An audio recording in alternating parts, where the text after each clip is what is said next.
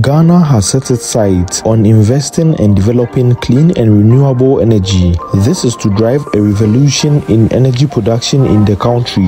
This particular initiative has been dubbed the Energy Transformation Agenda by the government of Ghana. Stick to this video to the end as we take a look at everything there is to know about this energy transformation agenda and how it will help the nation in the coming years. Before we begin, kindly like and subscribe to this channel for more content like this. Let's get right into it. Since time memorial, Ghana has relied mainly on hydroelectric power and thermal energy for its electrical needs. These sources have served Ghana well in the past, making it the seventh ranked country in Africa with the highest access to energy, with countries like Egypt, Algeria, Morocco, Tunisia having 100% energy access, Gabon with 91% energy access, and South Africa with 85% energy access, being the only African countries beating Ghana's 84% energy access. The government of Ghana has long looked to improve this number to at least 90% by 2030. This would have been simple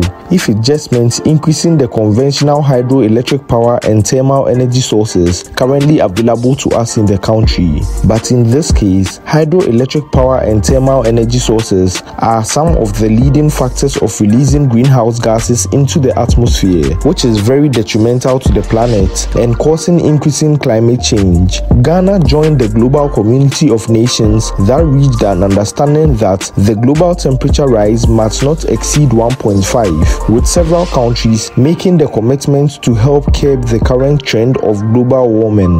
Ghana's commitment was basically opting to introduce more renewable and clean energy into the country. With that said, how will we achieve the targeted 90% energy access by 2030 if we are changing to cleaner and renewable sources of energy?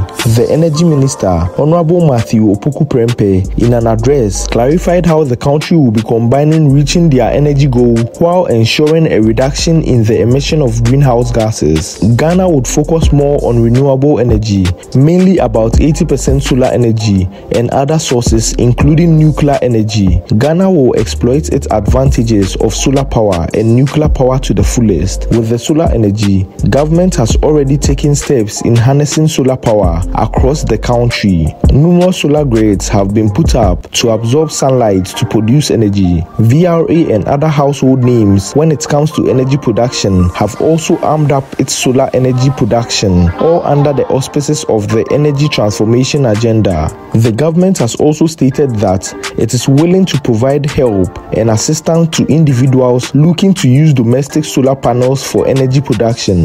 Bui Power Authority is currently experimenting with placing solar panels on their water surfaces, which is looking good so far. All major water bodies could follow suit to produce more clean, renewable energy. By adapting this method of placing solar panels on the surface of water bodies, two major merits would have been reaped. The first one being the production of solar energy, and the latter being the preservation of our water bodies. The next phase of the energy transformation agenda has to do with the other sources of clean energy that Ghana is investing in, mainly nuclear energy.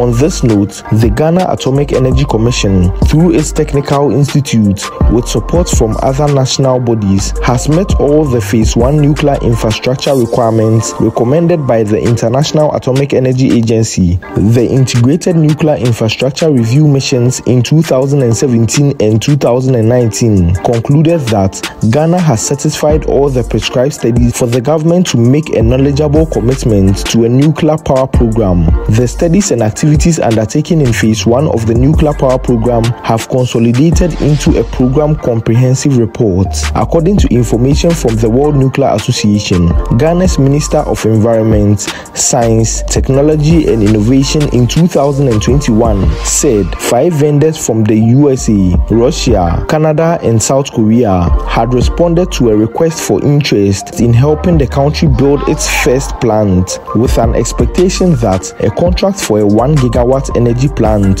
would be signed sometime in 2024 to 2025. The United States earlier this year also confirmed that it is supporting Ghana's adoption of small modular reactor technology and Ghana's willingness to invest in and explore nuclear energy. There is no doubt that making all these possible will take some time and hard work. But yet again, rather commendably, Ghana is on the right path and is sure to achieve its energy goals by 2023. If you like content like this, be sure to like this video and subscribe to this channel. Also, check out this video next on massive projects in Ghana that would blow your mind. Thank you and on to the next video. Be sure to check this video out.